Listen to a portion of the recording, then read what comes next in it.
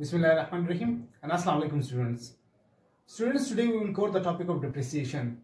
What is depreciation? What are its most important types? And how do we calculate depreciation through those important types? We will be doing it in a detail today. Well, first of all, I would like to start it from the word depreciation that what is depreciation? Depreciation is a process of allocating cost of a fixed assets with the passage of time. Or it is a process of allocating cost to an expense through its, its estimated useful life. It is an attempt to spread the cost of a fixed asset to an expense or its estimated useful life. Or in simple word, it is the reduction in the value of an asset with the passage of time. Well student, वक्त के साथ साथ एक asset की value में कमी आती रहती है उस कमी को हम क्या कहते हैं डिप्रिसिएशन कहते हैं Well, there are two most of the important types of depreciation that is the straight line method and the double declining method.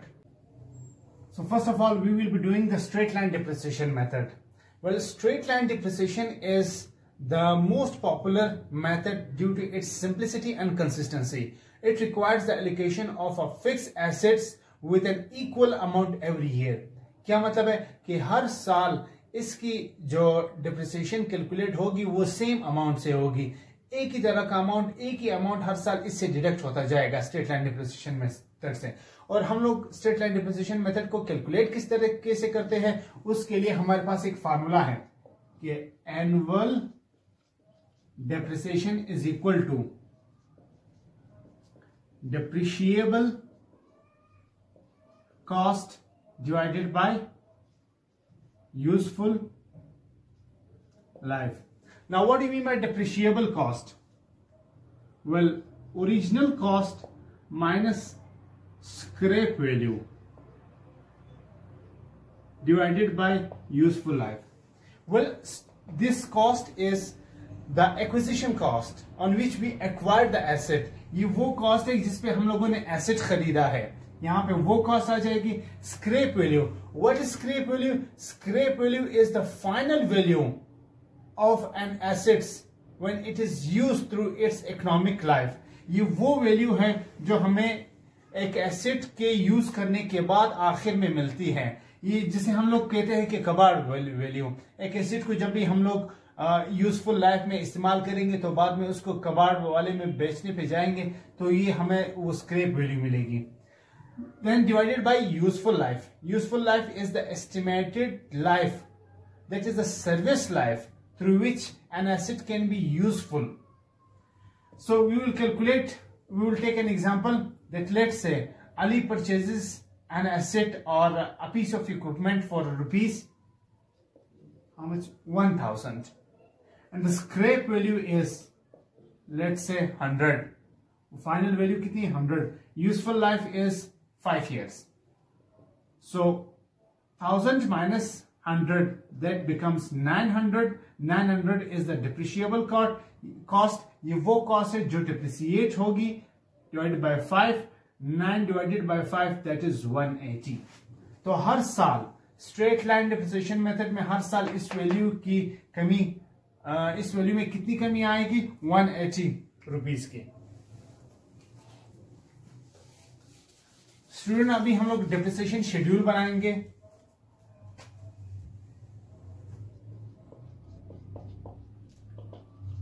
Appreciation schedule.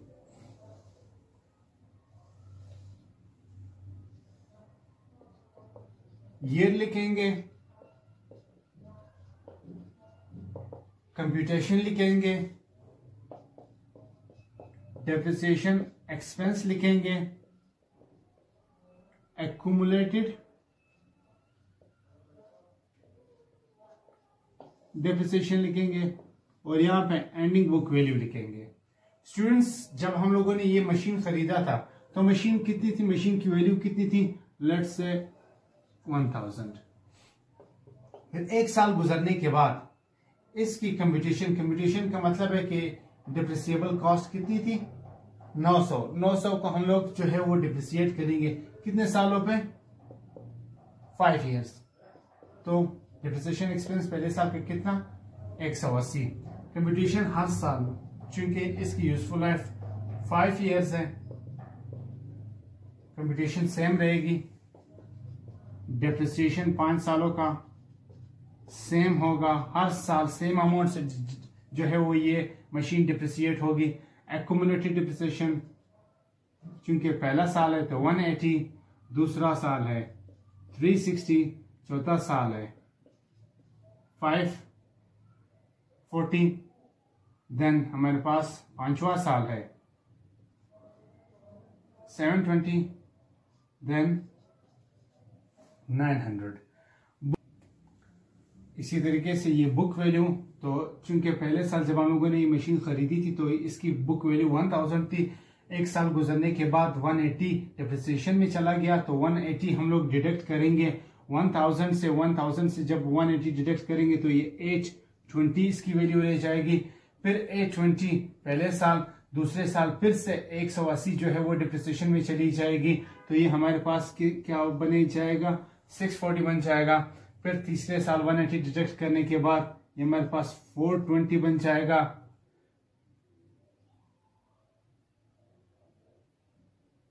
Sorry uh, 460 then हमारे पास 280 हो जाएगा लास्ट में हमारे पास फाइनल वैल्यू इसकी scrap value रह जाएगी वो 100 और ये टोटल 900 टोटल डिप्रिसिएशन में चला गया। अक्यूमुलेटेड डिप्रिसिएशन ये पाँच सालों के डिप्रिसिएशन में चला गया। और ये सौ रुपए हमारे पास इसकी स्क्रैप वैल्यू बच गई। तो अभी हम लोग सेकेंड टाइप करते हैं डबल डिक्लाइनिंग मेथड स्टूडेंट्स अभी हम लोग डिप्रिसिएशन शेड्यूल बनाएँगे, लेकिन डबल डिक्लाइनिंग मेथड के ज़रिए। Well student what is double declining method? Well, double declining method is by far the most widely used method. The primary usage the primary purpose of double declining method is that it is used for income tax returns not for financial statements. A fixed amount, a fixed rate is applied in double declining method. Well, there a fixed amount was there in straight line depreciation method while in double declining method here a fixed rate will be applied and that will be double of straight line method. Straight line में five years useful life थी तो वहाँ पे rate हमारे पास कितना आया था 0.20 means 20 percent तो डबल डिक्लाइनिंग मेथड में स्ट्रेट लाइन का डबल इस्तेमाल करेंगे तो इट मीन्स के डबल डबल डिक्लाइनिंग मेथड में हम लोग परसेंटेज या रेट कितना अप्लाई करेंगे 40 परसेंट रेट अप्लाई करेंगे स्टूडेंट्स क्वेश्चन वही वाला क्वेश्चन उठा लेते हैं प्रीवियस क्वेश्चन जो स्ट्रेट लाइन डिप्रिसिएशन मेथड में हम लोगों ने किया था कि let say early purchased piece of equipment for rupees 1000 and the scrap value of that equipment was 100 so the depreciable cost was 900 so here what is, what is the beginning book value of that uh, equipment that is rupees 1000 and what is the rate that is going to be applied that is 40 percent 1000 multiplied by 40 percent so the depreciation expense for the first year will be 400 as it is first year then the same will be in accumulated depreciation and ending book value एक साल use करने के बाद उसकी value कितनी रह जाएगी क्योंकि जब हम लोगों ने खरीदा था तो हज़ार रुपए साल के शुरू शुरू में उसकी वैल्यू हज़ार रुपए थी लेकिन साल गुजरने के बाद उसकी वैल्यू कितनी रह जाएगी? 400 माइनस करेंगे तो एंडिंग बुक वैल्यू 600 रह जाएगी। अब डबल डिक्लाइनिंग में बिगनिंग बुक वैल्यू उठाएँगे। अगले साल की बिगनिंग बुक वैल्यू मतलब पहले साल के आखिर में इसकी वैल्यू कितनी रह गई थी? 600 तो 600 पे रेट अप्लाई करेंगे। क्या रेट है? 40 परसेंट। छह का 40 परसेंट 600 का 50 परसेंट जो है 300 आता है तो ये 240 240 हो जाएगा। 240 सौ एक्यूमुलेटेड एक्यूमुलेट में हम लोग जो है वो डिप्रिसिएशन को ऐड करते जाएँगे तो ये कितना बन जाएगा? 640 बन जाएगा स्टूडेंट्स और 600 से 240 डिडक्ट करेंगे। क्योंकि इसकी ओरिजिनल वैल्यू शुरू शुरू में कितनी थी? हज़ार थी। हज़ार से 600 माइनस किया 600 400 माइनस किया तो 600 रहेगी।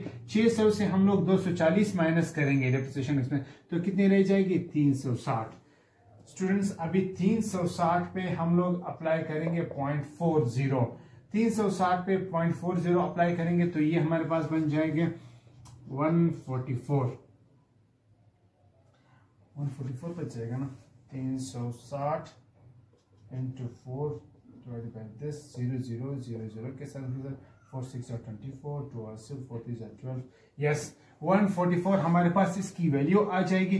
One forty four plus six four zero four plus zero four four four eight one and six that is seven eighty four 784 और एंडिंग बुक वैल्यू हमारे पास कितनी रह जाएगी? 360 माइनस 144 ये हमारे पास रह जाएगी 216 तो चौथे साल पर हम लोग 216 पे अप्लाई करेंगे। 216 multiply by point four zero ये हमारे पास इसकी वैल्यू कितनी आ जाएगी? नियरली अबाउट 86 इसकी वैल्यू आ जाएगी। और हमारे पास जो अकोमुलेटेड डिप्रिसिएशन है, वो कितना हो जाएगा? Six four zero eight and eight sixteen sixteen plus one seventeen seven and one that is eight seven zero और टू वन सिक्स से जब हम लोग डिडक्ट करेंगे एटी सिक्स तो हमारे पास ये वैल्यू आ जाएगी वन थर्टी स्टूडेंट्स अब यहाँ पे एक बात फोकस करने वाली है। वो ये है कि लास्ट ईयर इसकी बिगनिंग जो बुक वैल्यू है, वो 130 है। और हम लोग रेट अप्लाई करेंगे 40 परसेंट जब हम लोग रेट अप्लाई करेंगे 40 परसेंट वन पे तो ये सबसे नीचे चली जाएगी वैल्यू लेकिन हमने क्या करना है? कि स्क्रेप वैल्यू हमेशा हम लोगों ने वही लेके आनी है जो क्वेश्चन में मेंशन हो, होती है। और स्क्रेप वैल्यू क्वेश्चन में क्या थी? 100 थी। तो हमने 100 ही जो है वो स्क्रेप वैल्यू या एंडिंग जो बुक वैल्यू है वो हम लोगों ने 100 ही लेके आनी है। और डिप्रिसिएबल जो कॉस्ट है या डिप्रिसिएशन की जो अमाउंट है वो 900 ही रखनी है हम लोगों ने। तो यहाँ पे हमारे पास सिर्फ़ तीस रुपए बच रहे हैं डिप्रिसिएशन के लिए। तो हम लोग डिप्रिसिएशन में सिर्फ़ ये तीस रुपए देंगे। क्यों? क्योंकि हम लोगों ने जो है ये वाली अमाउंट नौ सौ लेके आनी है और आखिर में बुक वैल्यू कितनी बचानी है? 100 ये इसकी स्क्रैप वैल्यू थी जो क्वेश्चन में। तो डबल डिक्लाइनिंग या डिमिनिशिंग मेथड में हम लोगों ने ये वाले जो स्टेप्स है आखिर में, ये वाला बरकरार रखना है मेंटेन रखना है। स्क्रैप वैल्यू सभी लेके आनी है जो क्वेश्चन में मेंशन थी और नाइन हंड्रेड जो है वो एकुमुलेटेड डिप्रेशन या ओवरऑल डिप्रेशन की अमाउंट में चली जाएगी। और हमारे पास लास्ट ईयर जितना बचा होगा डिप्रेशन के लिए उतना ही अप्लाई करेंगे। रेट अप्लाई नहीं करेंगे एंडिंग बुक वैल्यू पर सॉरी बिगिनिंग बुक वैल्यू पर so that was methods of depreciation student इसके अलावा भी डिप्रिसिएशन के बहुत सारे मेथड हैं, लेकिन ये दो जो है most of the important type है। इसके अलावा हमारे पास एनविटी मेथड है सम ऑफ़ द मेथड है एक्टिविटी मेथड है, हमारे पास फंड्स मेथड है इंश्योरेंस मेथड है, लेकिन ये दो जो है वो वाइडली यूज़ होते हैं। And I hope so student कि आप लोगों को ये समझ में आ गए होंगे।